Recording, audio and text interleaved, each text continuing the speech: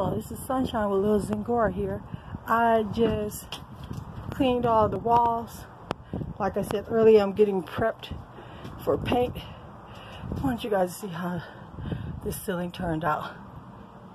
It's pretty clean now. I'm Not sure if I'm going to paint it or not. Uh, the light fixtures, that's the gas light fixture.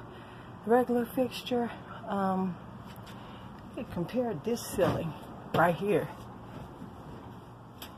to this ceiling. That one's not that bad, but check out the water. Now this is some disgusting caked on dirt.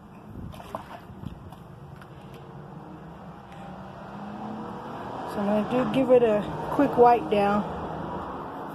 I know my phone's sort of blurry, but I'm going to give it a quick wipe down.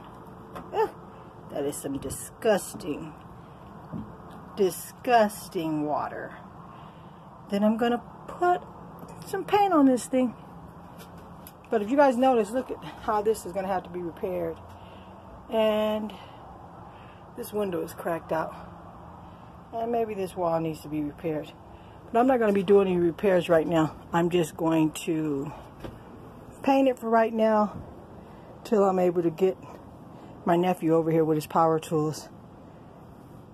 So, until then, take care.